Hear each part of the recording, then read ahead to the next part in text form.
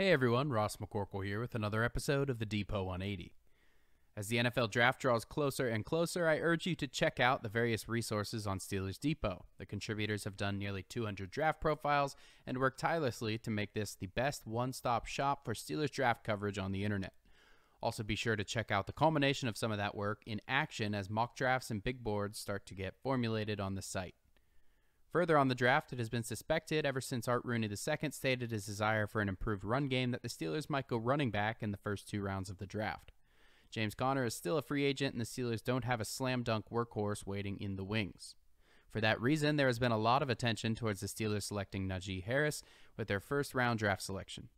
Experts around the league are mocking him to the Steelers, and Adam Schefter even went as far to say on his podcast that he would not be surprised to see Najee a member of the Steelers. Najee, in turn, said that this pre draft virtual meeting with Tomlin Colbert was one of the coolest ones he has had. At this point, it seems that if Najee falls and is available when the Steelers make their selection at pick 24, he will likely be the pick. Dave Bryan said it best the Steelers could not have any more fingerprints on Najee Harris at this point in the process. Pro day visits, pre draft visits, and he fits a lot of the criteria they look for in drafting a running back. This probably doesn't come as a surprise to many, but Sam Darnold, who everyone seemed to want to talk about getting traded to the Steelers, ended up getting traded to Carolina Panthers, so the little chance that was there is now gone. Steven Nelson went on social media to talk about his free agency process. To sum it up, when asked if he was a casualty of the 2020 lowered salary cap, he replied, quote, yes. He did say there's a market out there as he has talked to around half the teams in the league, but he was expecting a nice pay raise for a couple strong seasons.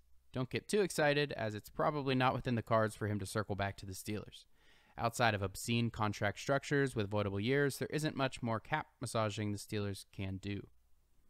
One interesting bit from hearing Nelson talk was that the Steelers never approached him about a pay cut. It was basically either get traded or get cut. He did mention that he has no hard feelings between him and the Steelers, which is always good to hear.